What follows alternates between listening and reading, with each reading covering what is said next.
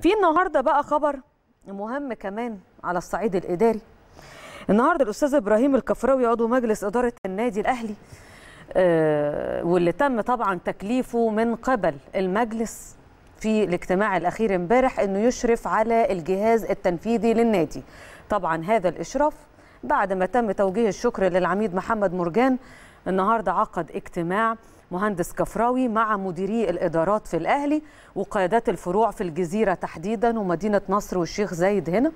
الاجتماع تم فيه مناقشة أكيد سير العمل فيما يتعلق بالشق بالشق الإداري تحديدا التأكيد على المتابعة المستمرة لملف الخدمات وأكيد الاستمرار في الحفاظ على ثوابت منظومة العمل داخل النادي الكبير خلال الفترة اللي جاية. كمان كان في بحث مع مديري الأفرع عن بعض المقترحات والتأكيد على يعني تلافي السلبيات في كافة القطاعات الخدمية تحديدا والرياضية. وأكد مهندس كفراوي خلال الاجتماع دوت على ضرورة أن جهود تتوحد من أجل الحفاظ على منظومة العمل داخل النادي الأهلي.